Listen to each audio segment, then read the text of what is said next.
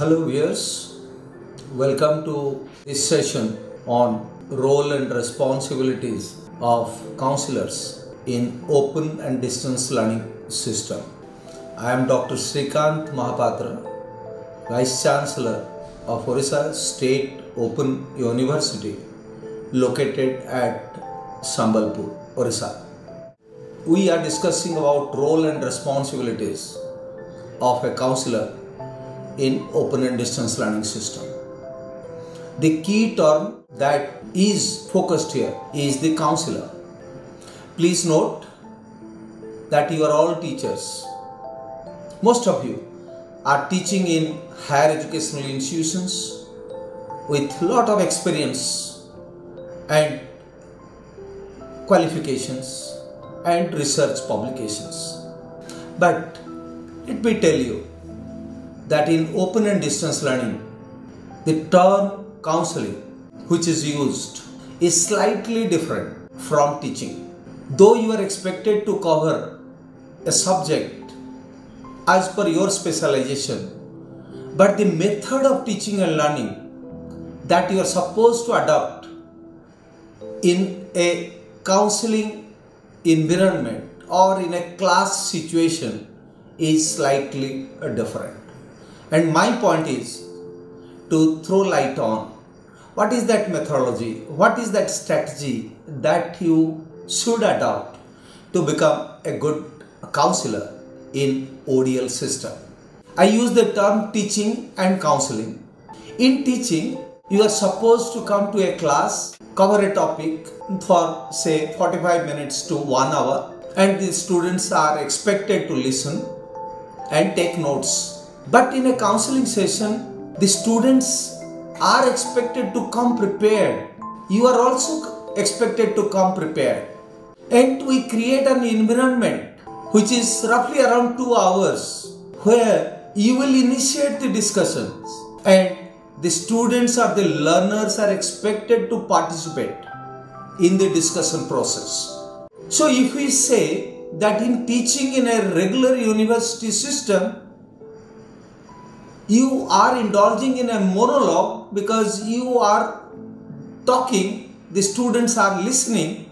Here in a counseling session, you are expected to take a lead role, but at the same time, the learners are expected to participate and enter into a dialogue with you. So, your job to be a successful counselor is to encourage the learners how to interact, how to participate in the discussion, how to ask questions, how to express their opinions and views about the topic.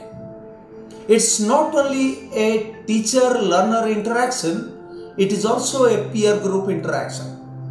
So you have to make the classroom environment absolutely informal so that every student, every learner will get feel encouraged to participate.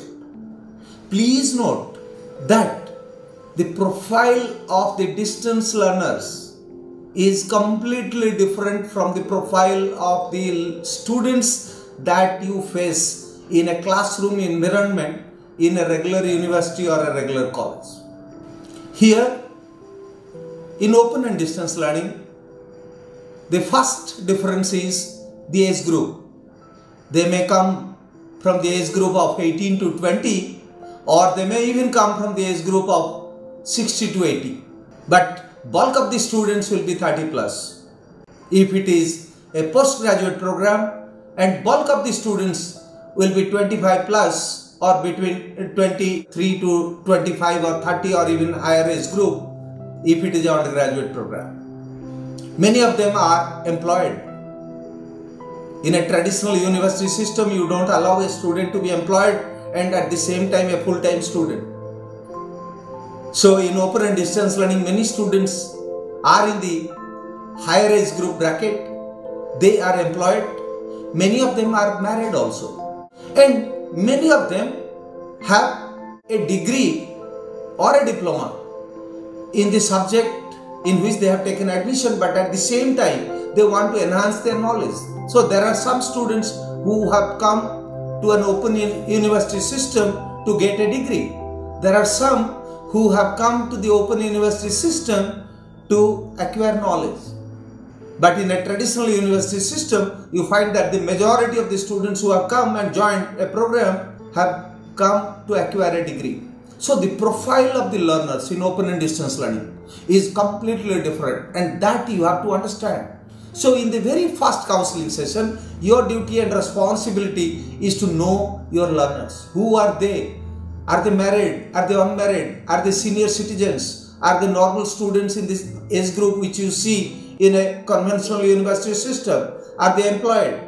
Are they coming from the urban area? Are they coming from the rural area? What is the distance from the study center from their residence, place of residence? How far they are covering every Sunday to come for the counseling session? It is very important for a counselor to know the profile of the learners. And I request all of you, if you want to be a very successful counselor, please first class get yourself familiarized, acquainted with the learners so that they also get the opportunity to know each other. That is the first thing that a counselor should do. The second thing that I expect a counselor to do is he or she should be a source of inspiration for the learners. He or she should be a motivator. He or she, who is a counselor, should inspire the learners to get involved in the teaching learning process. Because many of them may be school dropouts. Many of them may have left their formal education quite a few years down the line. So they have again come to an informal system of education which is called open and distance learning system to acquire a degree or to enhance their knowledge. So you have to again play the role of a motivator you have to inspire them and you have to encourage them so that they get associated with uh, the studies in which they have taken admission. Now, one of the greatest problem that many uh, students in open and distance learning face is the sense of isolation, sense of alienation. So, you have to encourage them, you have to integrate them with a group so that the sense of isolation and sense of alienation, sense of aloofness will get reduced day by day and they feel encouraged not to miss your counseling session the next time or next Sunday. That is a responsibility which I expect a counselor to be uh, doing uh, when they are uh, involved in the uh, counseling process. Another aspect which you have to keep in mind is that you should set an example for the learners. You should be sincere. You should be punctual. As far as timing of the contact class is concerned, you should come right on time or before time. Don't ask the student to wait for the counselor. It's not a good habit, not neither it's a good practice. Many of the students, as I have said, are uh, seniors, knowledgeable. They are part time, remember, they are part time students. On a Sunday, they have so many other social commitments, family commitments. In spite of all their commitments, they have come to the counseling session. So please show your sincerity, your dedication, your honesty while you come for the counseling session. Please also know that your command over the subject or the topic that you are going to cover in the classroom or in the contact class counsel.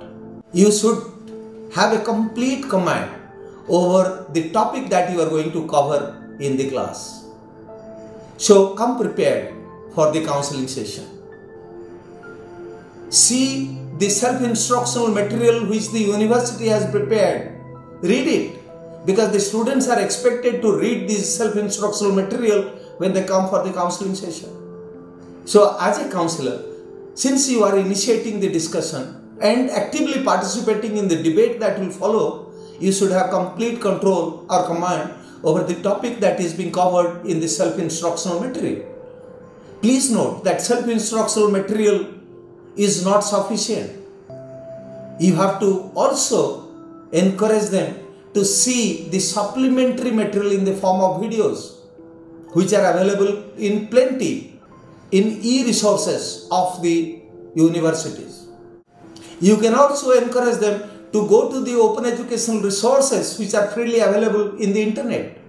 You can also encourage the student refer to additional resources which are available in the form of e-library or the digital library. There are plenty of open educational resources on each and every topic. So encourage the student to use the technology as far as possible so that the students will not only read the self-instructional material or the e-content that the university might have uploaded on their website but at the same time they will also take the help of additional resources like the YouTube uh, video programs or even uh, some universities have audio sessions in the form of internet radios. So please encourage the student to refer to these additional supplementary teaching resources so that they will have complete knowledge over the subject. You should also tell the learners to motivate others who have not attended the counseling session so that the counseling session will have more number of learners and will become more interesting. So what I would request all of you is not only know your learners but in the initial class form a WhatsApp group and keep motivating them at every regular interval. Encourage them to attend the counseling session. Remind them to cover the self-instructional material before they come for the counseling sessions. And if some learners are not attending the counseling session, please also inform them that their absence was felt in the counseling session and you do expect them in the next session to make the counseling and the uh, interaction more lively. So your responsibility, I know that uh, academic counselor in open and distance learning system is it's a part-time work for you but nevertheless it's a very challenging work if you become a very successful counselor, it will help you in different aspects of your life. It will encourage you to become a good teacher. It will encourage you to encourage your student in a regular university system to ask questions, to enter into a dialogue, to initiate a discussion so that it will be immensely beneficial to your both uh, students in a regular university system and your learners in a distance university system. But nevertheless, you are having command over the subject and that matters a lot. So my dear counselors, my advice to you from my long experience of association with open and distance learning is please understand your role as a teacher number one having command over the subject but as a motivator as a friend as a philosopher as a guide and as a source of inspiration to the distance learners. I am pretty sure with these qualities you will prove yourself to be a successful counselor in open and distance learning system. Thank you very much.